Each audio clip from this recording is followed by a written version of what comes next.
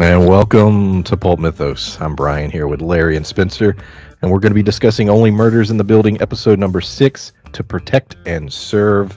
Another fantastic episode, in my opinion. Not many left. We got four left till the finale, and we do got a season two. It has been greenlit, which we talked about last week. If you not hit the sub button, please do so because we, well, we need the subs. and leave an upvote, leave a comment that helps push the videos. And yeah, man, um, gut milk. Let's I, I, a running gag, and it keeps giving, man. Uh, it, it, funny little thing. There's so many little like funny gags and just little bitty things woven into the story. Gut milk being one of them. Um, even Tina Fey's character, who's had a very bit role but has been profound in the comedy of the series. We get the funny Jimmy Fallon scene, which I laughed out loud at. Um, but yeah, just another fantastic episode. Yeah, what we were talking before we started recording, you know, Larry, you were just like, shit, man, I love this show. Like, yeah. Um, yeah. How'd y'all feel? Such a great show. And I'm glad we got our, like, a lot of cool little things. And we're getting a lot of the things we talked about in the last episode that we want. We wanted more yard dogs. We didn't necessarily get that, but we got a segue in a way of, you know, like, um, you know, the fact that people listen to their podcasts are, are, you know, like it's the segue of the cop back into this show. And, uh, uh, let me uh, just quickly interrupt you. Detective Williams, my God, to come in this late in the series and steal the whole episode, like every right. scene, the Herman's head stuff. Yeah. Um, I mean, every part, every scene that that the Herman's head stuff. I just want to go into that. Like, I'm sitting there, like, holy shit, I used to watch that, and I, and I just loved all the all the little nods to that. But yeah, great character. Yeah. Yeah, I, have seen every episode of Herman's Head, you know, and I thought that was really cool. Like, when was the last time you heard a Herman's Head reference? Like, exactly. I haven't. You've never okay. no, I mean I've watched it. I'm just saying, like you said, when was the last time I heard a reference to it? I don't. I don't know that I have, like since the '90s. right. Uh, but yeah, that was good, and that's a great segue. And you know, it's just like every character that they make for this show. Also, like you mentioned, the detective and everything, and her still in the show every character they make seems to be fairly well fleshed out. I mean, this the writing on this is so damn good. Um, a lot of good comedy. Like I said, I love the gut milk stuff, and I want merch for that. I want merch for gut gut milk. I want merch for yard dogs because I love like meta show merch like that. You know, I want a yard dogs T-shirt and a and a gut milk mug. I want a gut milk tank top. That'd be great. yeah, and like you were saying, Larry, the talking about how how well written this show is as a whole. They we have a lot of shows with a lot of filler episodes, and now you get to the the streaming area era of TV, and there's a lot less of that because you know they kind of can they compress a lot of the season. So instead of being 23 episodes or 21 episodes, it's like 10 or 13 at most now, uh, which I think makes it it's been making TV a lot better. Uh, there's a lot less of the filler episodes, a lot less of the episodes that don't matter. But in this, it mm-hmm. feels so much like every single thing is important. And uh, to me, that is a testament to how good of a job that they're doing uh, in writing every character completely out prior to them doing anything we get uh, a lot with Mabel this week. A lot of our questions were answered. We find out her mother live is not that far off away, you know, and she in fact was sending her, I guess, to her aunt's apartment. Um, Mabel and Oscar do have sort of a little thing going. You know, they were, you know, he was in prison. They were thinking about each other. Clearly, they had feelings for each other. Something someone killed Zoe that night. Tim Kono knows and didn't say anything for whatever reason, which is what led to Oscar going to prison. We now know that Zoe had a ring on the night of, but not when she was dead. That Tim was trying to get from Angel, Angel being this jewel thing, and we'll get to Angel later. But all the stuff with Mabel, with Oscar, sort of all that unfolding. Um, yeah, did you? Yeah, you agree? We got we've we had a lot of questions about her, and I felt this episode answered quite a quite a bit of them. Yeah, we got a we got a lot more answers and questions that you know, and, and questions from those answers. Uh, does feel very much like uh, like Clue in the way that we do that. That that the show's doing that. Uh, I'm very curious about the the the angel thing. It was great to to actually get backstory on Mabel because I was really starting to wonder, you know, about like oh, I know we've been speculating so much about her past in all these episodes. It was interesting that that it turns out okay, she actually does seem to have an aunt that lives in that building. You know, because I, I thought at first like okay, she's just been squatting there. She's homeless maybe or something, but you know that like it, it was interesting to see her her home life and you know a lot of good chemistry there with the actors in that scene. I'm outside, so if it gets a little crazy or windy or loud, just let me know. Um, they, uh, I think It's super windy. I'm joking. He's like, like, God, I was like, there's no wind. Like, I don't even feel. I thought you were saying you were outside eating a salad. I'm like, what the hell, Spencer? Film a podcast. Yeah, I'm. Uh, I just salad. wanted to be outside salad instead of inside. Are there tomatoes in it? Yeah, it's outside salad eating. There. All right. Go ahead. But they, but to me, like this episode raised more questions. So you had Angel, son that is um is their age. So I think that he may now become a suspect because we said this before that uh, Oscar and Mabel clearly had something for each other prior to. So to me, that you know raises some questions as to who killed uh, Zoe that night, and I still think that that's going to end up being the main focus because he got blamed for that. But I'm going to start thinking now that it's uh, maybe uh, Nathan Lane's kid. Uh, you know, he got jealous, or he was one of the ones interested in Zoe, and uh, I think that maybe he is looking to me like a prime suspect at this point in time. Yeah, Teddy is the character, uh, Nathan Lane's character, and we get a great couple scenes with him. One very comical, and then one very serious. Um, just I love Nathan Lane, and you're right. The name Angel ties in. He's now a suspect, but I believe you're right about the son because we we get a quick glimpse of him in one episode. His age, just based on appearance, seems to roughly be in sync with what everyone else's age um, is in terms of Mabel and her crew, which would lead one to believe, okay, he um, maybe it's him because I don't think it's Teddy. I mean, I could be we could be wrong, but why would he be investigating a murder or you know stuff that he had something to do with or it, funding an investigation? But I don't know. Uh, Larry, yeah, Larry, Well- what do you? Or go ahead. Oh, I was gonna say they that could still tie in though because if he knows his kid did it, uh, just like when we watched Mare of Easttown, like there's a lot of things that, um, like he could still be complicit in it, but I don't think he himself did it. Yeah, and I agree with that. I think they're gonna invest. I think they're gonna investigate this whole thing, and of course, likely wind up pissing him off and losing that sponsorship, and you know, likely getting a gut milk sponsorship because they talk about gut milk so much. Like, but uh, but also, you know, I didn't, I didn't think about the possibility of it being his son. You know, that that makes a lot of sense though.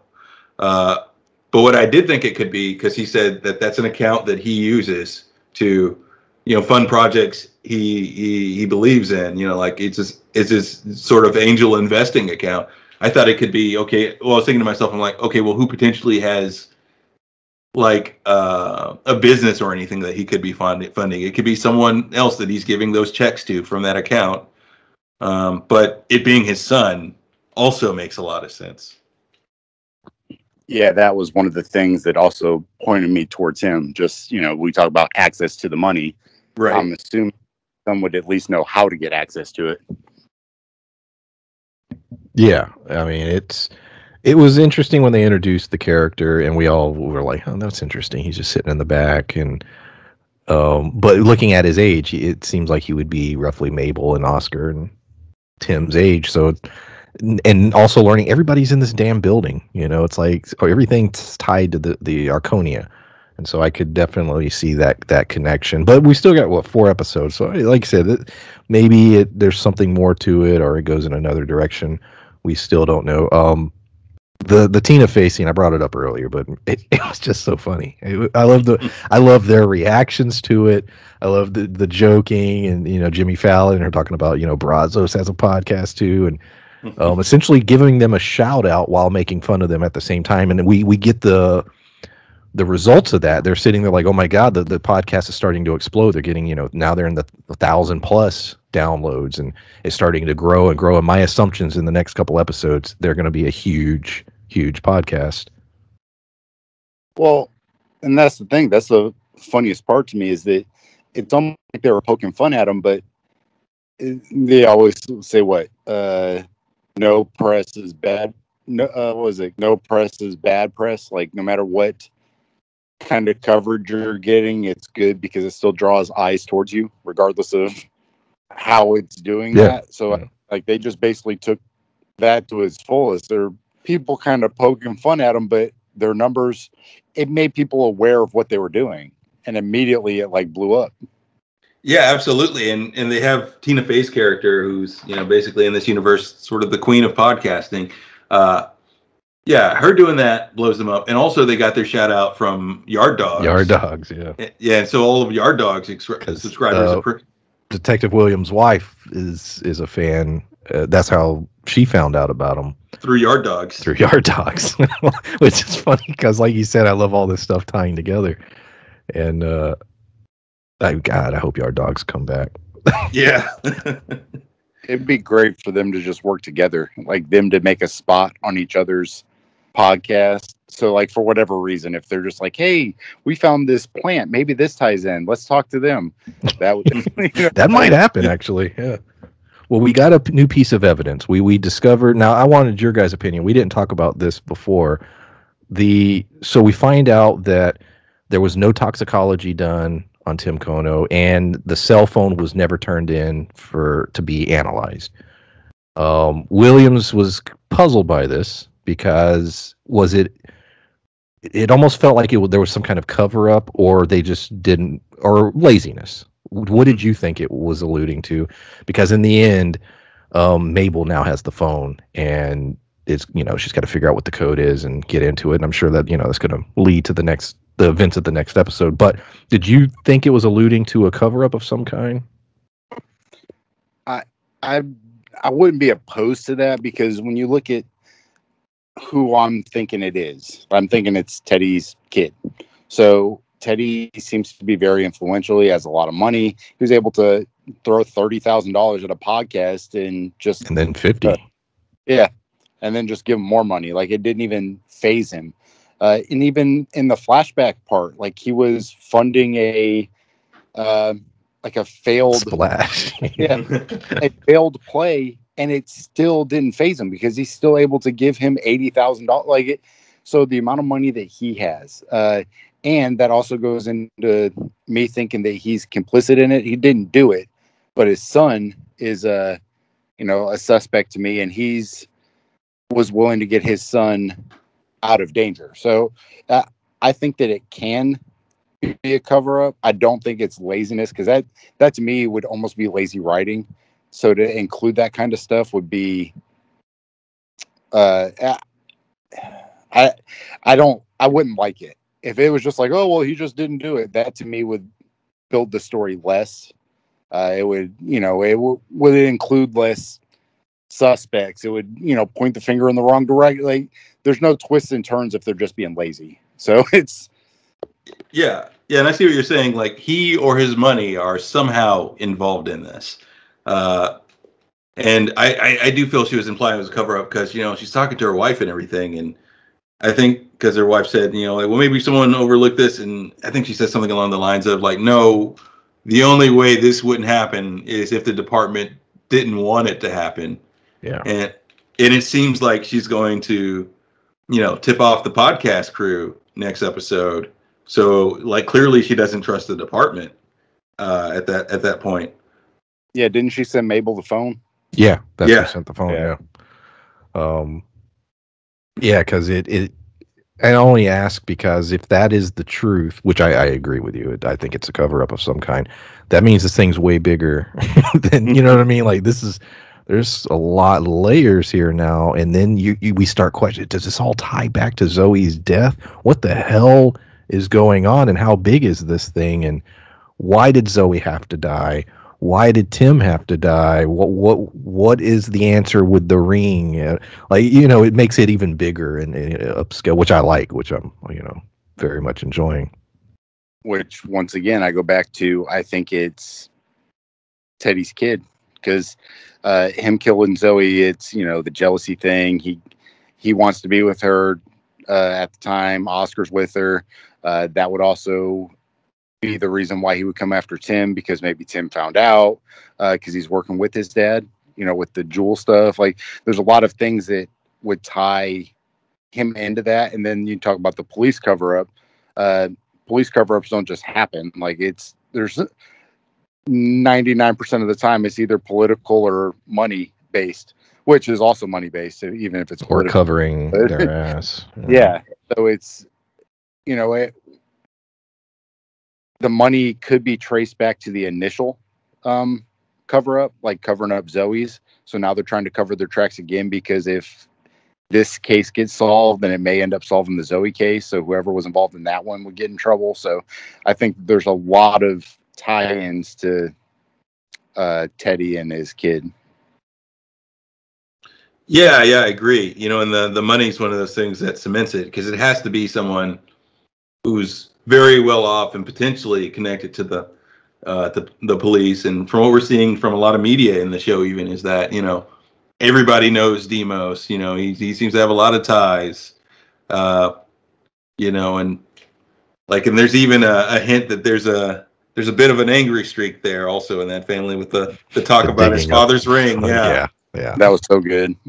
That's what I said. We went from a very, you know, great comedy sort of scene with the the Fallon stuff and you know, Teddy, and then we go to this very serious story rooted in real history and tragedy. But then it the little end of that is you know, like you said, Larry, that thing with his father. Like I dug his ass up and took it.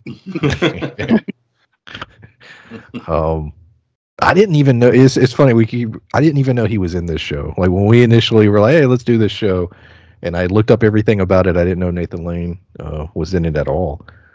Um, I, I want to also real quick, uh, not dealing necessarily with the story. I want to talk about the the length of the episodes. Um, for a series like this, a murder mystery, and they're each just at thirty minutes and yet it works. Typically, a show like this, they're longer. Um, but this one works. You, you, they fit in the comedy, the character moments, and the the mystery itself. I just I just thought it would. It's cool how they're able to do all that in a half hour. I, you have any thoughts on length of the episodes? We always that's a running theme. We always talk about pacing and a lot of the stuff we we cover and pacing on this show. I, I would give it a ten out of ten. Yeah, but I think that like you said, that's a testament to the pacing and the writing itself. Uh, to be able to, everything that's in the show has shown us that it's important. Like there is no throwaway things. There's not really, there's not a lot of red herrings. Like the things that they're showing you, the characters are either being led in the wrong direction. So it's not like the show itself is trying to throw us off. They're doing a good job of making the characters believe the wrong things. So it's not like us, they're showing us this plaque on the wall that's leading us towards this person. It's if there's a plaque on the wall, if there's something there, you know, it, one of the characters are like Oliver's like, oh my god, that might mean this. Uh, the tie dye guy thing, you know, that Steve Martin's going on and on and on about. There, all of these things are the characters being led in the wrong direction, which. But they've all led to actual yes stuff, actual yeah. leads. Yeah, yeah, yeah, true. Nothing saying is that nothing's been a throwaway moment yet. And I think that's a testament to the writing and the planning because this isn't a procedural where, you know, come episode 14, they're like, oh shit, we, we don't really know how this season's going to wrap up. Uh, and then they start trying to piece stuff together. This show's been planned and written out to where no moment has felt like a, like it was unimportant or like it was a throwaway moment. Yeah, absolutely, and and that's why that's another reason why I compared this to Clue earlier because of the pacing you know, and that every scene seems significant. Yeah, like you said, Brian, I'd give it a, a 10 out of 10 on that. And, uh, you know, everything's packed with so much information and, you know, and yet the pacing of the comedy of the of the plot of the way that they you know just sort of dot in those clues it's one of those few shows where I never look at my phone or do a do a you know go off and do something or, or cook while I watch it. You know, I'm I'm on the edge of my seat watching it for the whole episode. Yeah, me too. Um, I even love the uh, the rando and yeah, all the little things, you know, and and um, just the relationship of uh, Oliver and Charles developing, and then Mabel too. And I, I love the line where you know her mom's just is like, "How old are they?" you know, and her just being, you know, in the end, just like, you know what, they're the only real friends I've had in a long time. And just sort of that, we talked about that in the last several reviews about this really well developing friendship between the three and how well it works and the chemistry. And in this episode, you know, continued that.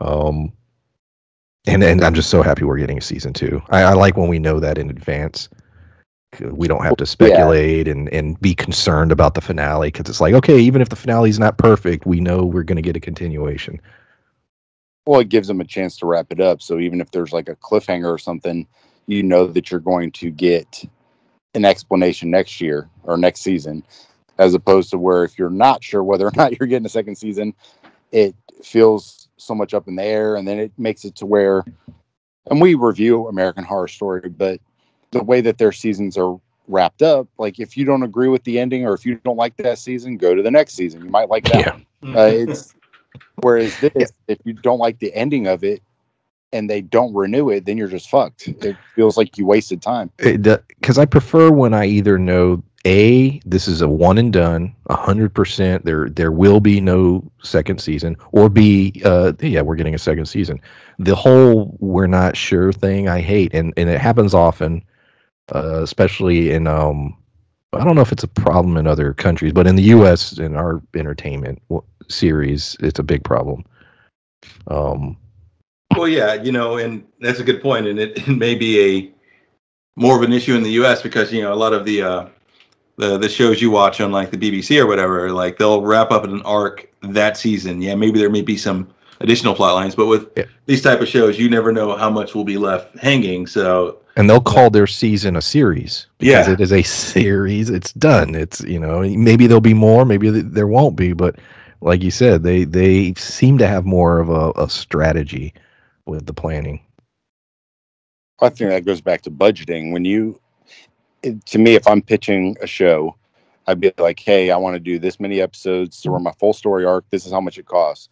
If they're like, nope, we can't do that much, I'd just be like, all right, well, uh, I can cut this and this. Can I still get this many episodes and do it for this?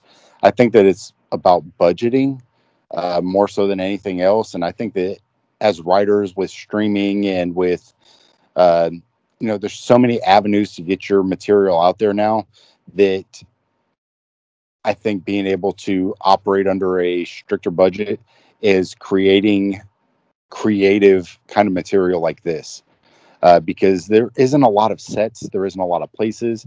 It's just three really, well, two really good actors, and then Selena Gomez is surprising me. Like I didn't know that she was going to. I like her way more in this than I thought I was going to, uh, which is a testament to her playing off of. Uh, you know Martin Short and Steve Martin, and you, you didn't watch Wizards of Waverly Place. no, I, but they, uh, but it's such a low budget kind of thing. And to me it, it relies so much on the strength of the writing that this to me should be a new pillar that shows should have to strive to. And i think that some people are stepping up uh, others are not. But i think that it is creating more creative styles of uh, television ted ted lasso dominated the what emmys or whatever i, I could see this show being a, a big deal in the next award season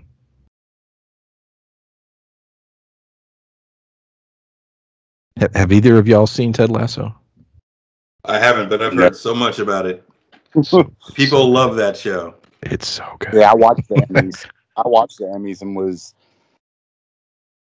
it was cool because watching their chemistry while they're all sitting there cheering for each other made me know why those shows were women winning Emmys because there's a couple like outliers that won shows and stuff, but they were just kind of like clapping for each other. But everybody on The Crown they were like losing their shit when one of their people won. But it was the same thing for Ted Lasso. Like when one of their people won, every one of their co-stars were super excited for them. So knowing the chemistry is that great in the show just shows me that it's it, it would be very good to watch because it's they're loving each other. They're just like, yeah, "Oh, yeah." it- it- it- I compare it to like The Office in that you take the the main premise. Okay, people that work in an office. Well, who, who gives a shit? And you know, mm-hmm. Ted Lat. Look, I'm just not a I'm not a soccer guy or well, you know, football, whatever you want to call it. I don't care. But it yes, that's what the show's about. But no, that's not what the show's about. You know what I mean? It's about the characters and the relationships and all that, and it, it just does such a brilliant job of it. you just lost at least three subscribers with that football comment. Like, but uh, but you're right, and uh, like, but that's what's good about this show too. Like you said, that chemistry, that that Yes. chemistry that they have. Because I can't name a scene in um in Only Murders where people aren't playing, where the characters aren't playing off each other really well. There's just such good chemistry in this show.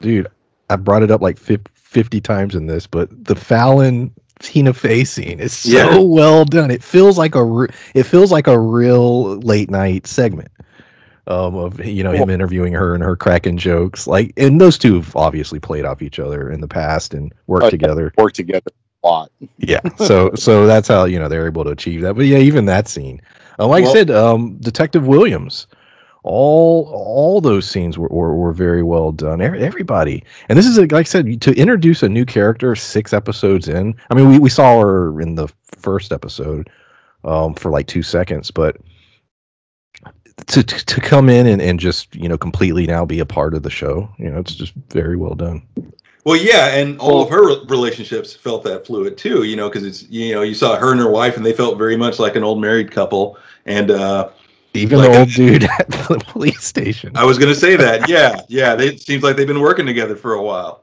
You know, you get that feeling, and uh, like in even scenes with Mabel and the other younger characters that she grew up with. You know, they it, it just seems like they have that chemistry of people that uh, grew up in the same place and you know have that history between each other.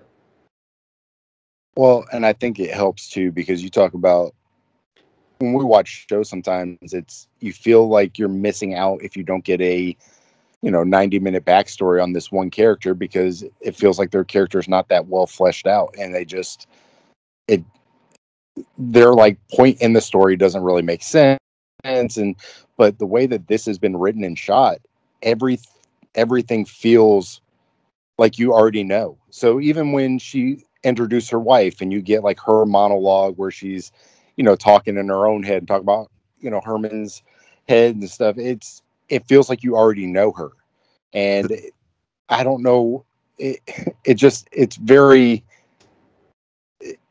i don't or where i'm looking. Well, the little bit about her, she smokes and she's dealing with the trauma of work, and she brings up, you know, the case she was on, and the they're they're trying to bring a kid into the world, and all the like. We get these little bitty things. You know, she was upset that she didn't come there to help work on the the nursery, but she was explaining, well, I'm working, and we within minutes understand their relationship, the struggles, the conflict. Like it's all done in just a handful of lines of dialogue.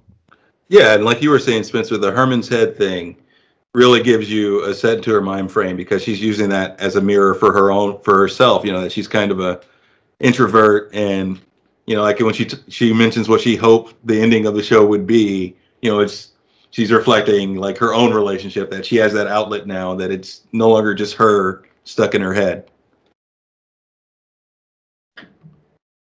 Yeah. Yeah, the Herman's Head reference, man. the show the show makes us talk about some weird things, man. You know, like I, I didn't expect to be talking about Herman's Head this episode or to have an episode focused around Sting. You know, it's a lot, a lot of interesting references. We even uh, in the podcast get another throwback to the cat guy. Yeah.